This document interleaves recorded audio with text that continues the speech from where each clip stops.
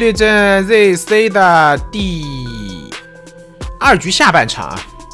呃，这把的话，其实这个红蝶我是没想到的，因为我觉得他会掏记录员，记录员上限会更高一点。因为红蝶打这套阵容也不是特别好打吧，抓人也不会有多快，然后呢又控不了场。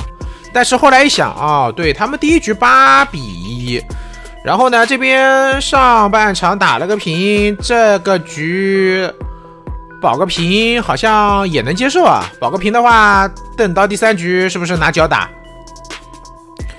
八比一的话，我觉得我上场都可以，不就留一个嘛？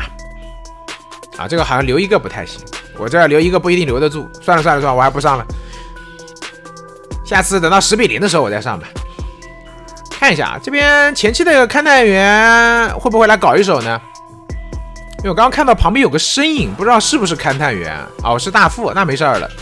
也就是说，让这边杂技自己溜，杂技你别说，还溜的可以啊。已经六十多秒了，第一刀才吃上，然后呢，这边红蝶的话呢，杂技你你飞过来，我杂技这边跳球，然后给你拉开身位，最终他逼出这个闪现，我觉得求者这里平局差不多就有了。后续的话呢，得看勘探员。哎，完了是闪现，还好这边的话没有什么点位是可以让这个杂技进去进行交互的，这闪现明显交的有点着急。红蝶也知道自己这个局，他因为他有一个后半段的一个不稳定因素，就是这个勘探员，就是比如说大副救完人以后，勘探员跟大副是一起来的，勘探员就直接数字三连断你节奏了。三连之后呢，这边杂技如果拉开一个很远的点，待会儿再找调酒师喝口酒，局就翻了啊，局就翻了。来，我们看这波怎么打吧。这波的话，勘探员没有过来，大副一个人过来，大副怀表都不摇。我大副不需要怀表，无伤救人。这波救人，这波救人绝绝子啊！这波救人，我感觉这大副跟 AI 一样的，就站在那边，一刀隔窗刀打中。嗯，其实我觉得 ZC 他们这边是不是打的有点求稳啊？勘探员没过来吗？勘探员这波其实是可以过来的。我觉得勘探员这波要过来，但勘探员就最后一波过来。最后一波过来，他就只能打一波嘛。你这波先过来打一打，对不对？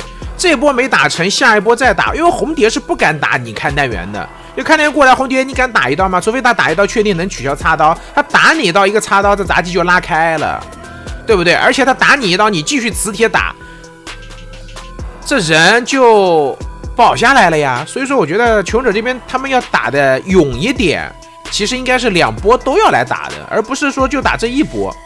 打这一波，万一你这波没打到，或者说红蝶，对吧？这切个金身保平的那种，你怎么办？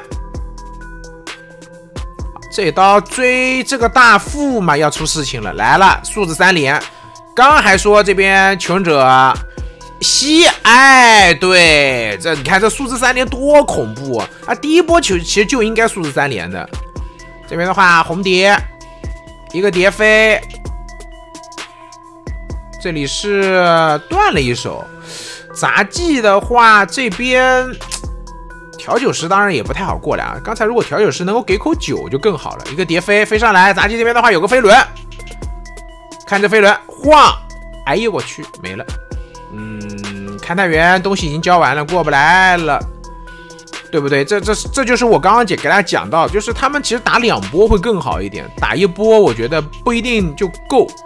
如果能打两波的话呢，我觉得机会会更大一点，因为他们现在其实处于一个非常大的劣势，他们是不能接受这个局保平的。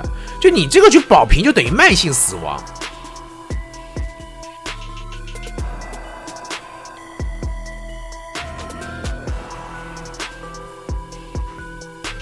就甚至刚才这边，我觉得调酒师都可以过来，勘探员数字三连，调酒师这边直接灌酒。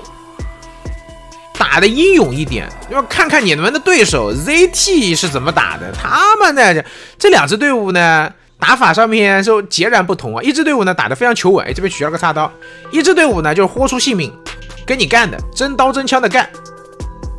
三人开门战争三跑，理论上面来讲可能性不高，因为这红蝶是有闪现的，这个闪现一定留到开门战。红蝶已经完成任务了，红蝶已经完成任务了。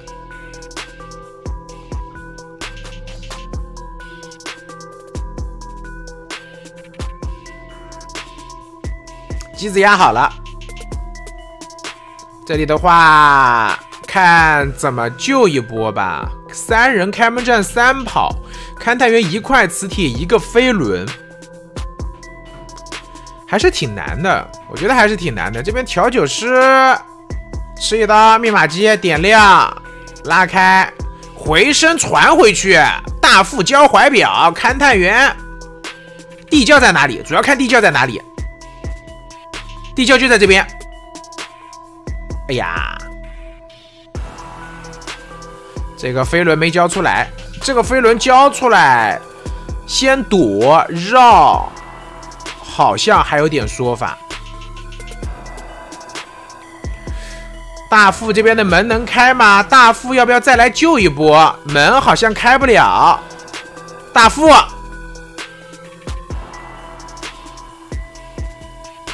门开了，但是倒了。等会儿，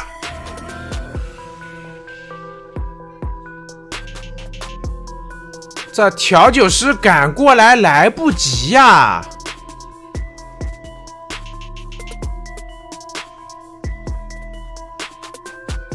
这红蝶还给他三杀了。这一波怎么说呢？嗯，他们打的真的太……中规中矩了吧？大副这边开门其实也没什么问题啊。就讲道理，他们应该是大副要考虑再去救一波的，再救一波这个勘探员，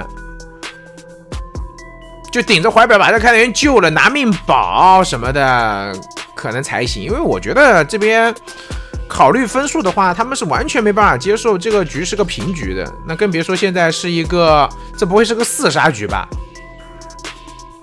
这红蝶还。要四杀，